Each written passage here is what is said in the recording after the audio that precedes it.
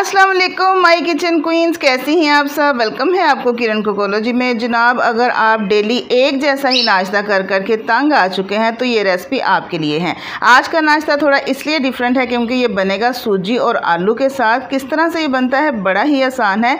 तो चलिए बिना टाइम वेस्ट किए जल्दी से हम स्टार्ट कर लेते हैं। सबसे पहले ले लेंगे हम एक कप सूजी। छान कर इस्तेमाल करनी है आपने। इसको एक बॉल में शिफ्ट कर देंगे और जितनी सूजी की क्वान्टिटी है, उतना ही हमने इसमें पानी डाल देना है, यानी एक कप। उसके बाद इसको अच्छी तरह से मिक्स कर देना है। हमने हमने पानी इसलिए सूजी में डाला है क्योंकि सूजी ने फूलना होता है, इसको पानी की ज़रूरत होती है।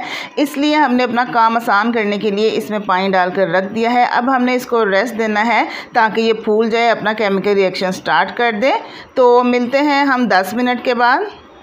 तो यहाँ पर सूजी को भिगोए हुए 10 मिनट गुजर चुके हैं। अब हमने क्या करना है? इसके अंदर कुछ और चीज़ें मज़ीद ऐड करनी है। बहुत ही मज़े का नाश्ता है। आप देख लें किस तरह से फूल कर साइज़ में डबल हो चुकी है ये सूजी। अब हमारे पास है जी एक मीडियम साइज़ का आलू। इसको मैंने बॉयल करके ठंडा कर लिया है। इस आलू को हमने ग्रेड करना है। ग्रेड करके इसके सूजी के अंदर मिक्स करना है। ग्रेड इसलिए कर रहे हैं ताकि इसके अंदर कोई गुठली ना रहे। बिल्कुल बारीक और मैश होना चाहिए।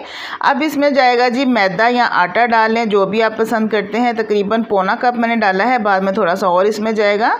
एक से डेढ़ कप चला जाएगा। थोड़ा सा इसमें हरा धनिया मैंने डाला है। हाफ़ टी टीस्पून इसमें नमक शामिल किया है, हाफ़ टी स्पून इसमें जाएगा जी दरदरा सा कूटा हुआ साबत ज़ीरा और आधा चम्मच हम इसमें डालेंगे चिली फ्लेक्स। बस जी इतने ही मसाले जाने हैं, थोड़े से बहुत ज़्यादा हमने कोई इसमें चीज़ें नहीं शामिल करनी है।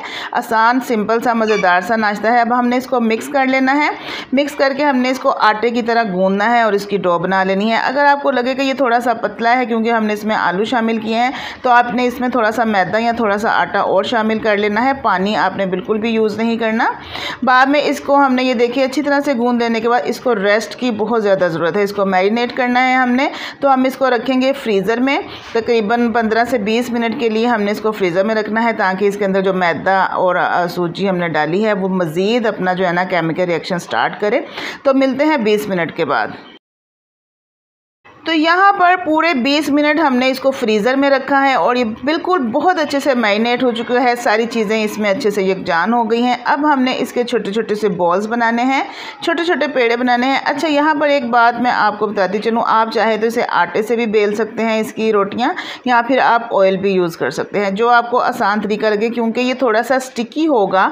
आलू हमने इसमें मैश करके डाले हैं। आलूओं की वजह से ये थोड़ा सा स्टिकी होगा। मैं इसको आटा लगा के बड़ा कर रही हूँ, बेल रही हूँ। हम हमने इसको जो है ना ज़्यादा बड़ा नहीं करना, बस छोटा छोटा सा हमने इसको रखना है और थोड़ा सा मोटा रखना है। ये देखिए, अगर आप घी की बचत करना चाहते हैं, सस्ता और आसान तरीका चाहते हैं तो फिर आप इसको घी की बजाय आटे के साथ ही बेल कर बड़ा कर लीजिए। तो चलिए, अब हम इसको फ्राई करना स्टार्ट करते हैं। फ्राई हमने इसको डीप करना है, डीप फ्राई करेंगे और ऑयल जो है वो बहुत ज़्यादा गर्म होना चाहिए। दोनों हाथों से पकड़कर आराम से हमने कढ़ाई के अंदर डाल देना है। फ्लेम यहाँ पर हाई करना है। फ्लेम यहाँ पर फुल होना चाहिए। अगर आप इसे ठंडे घी में या हल्की आँच पर फ्राई करेंगे तो ये अकड़ जाएगा। सॉफ्ट, फ्लफ़ी और फूली हुई बनाने के लिए इसको गर्म खोलते हुए घी में डालना है। दो से तीन दफ़ा इसको उलट पलट करेंगे ताकि इसका अच्छे से कलर आ जाए। बस जी, एक से डेढ़ मिनट लगेगा हाई फ्लेम पर इसको रेड होने में और हमारा मज़ेदार सा क्रिस्पी सूजी और आलू का नाश्ता बनकर तैयार हो जाएगा। तो ये देखिए, प्यारा सा गोल्डन कलर आ गया है और अब हमने इसको निकाल लिया है ऑयल में से। ये इतनी सॉफ्ट बनती है, बाहर से क्रिस्पी जिस तरह से एक पूड़ी होती है, एक भठूरा होता है, जस्ट लाइक वैसे ही होता है। आप इसको आलू की भुजिया के साथ भी सर्व कर सकते हैं, आलू की सब्ज़ी के साथ। चनों के साथ जो वाइट छोले मिलते हैं, जो चने होते हैं, उसके साथ सर्व कर सकते हैं। इसके अलावा आप इसको चाय के साथ भी खा सकते हैं, क्योंकि ये नमकीन पूड़े हैं, मीठे चाय के साथ बहुत मज़े के लगते हैं, बहुत ज़्यादा सॉफ्ट बनते हैं। वो नान की तरह ये जो है ना नरम होते हैं और पूड़ी की तरह फूले फूले होते हैं और भठूरे की तरह नरम मुलायम। आप अंदर से देखिए कितने ये नरम है, कितने ये सॉफ्ट हैं, अंदर से फूले हुए हैं आलू और सूजी के हसीन इम्तजाज के साथ। आज का ये ब्रेकफास्ट यकीन आपको पसंद आएगा। तो अगर आप फ़र्स्ट टाइम मेरे चैनल पर आए हैं फ़र्स्ट टाइम कोई रेसिपी देख रही हैं तो जल्दी से मेरे चैनल का विज़िट कीजिए। वहाँ पर आपको ढेरों ढेर सस्ती, आसान और लो बजट रेसिपीज़ मिलेंगी। तो किरण कोकोलॉजी को दीजिए, इजाज़त मिलेंगे अपनी नेक्स्ट एक्साइटिंग रेसिपी के साथ।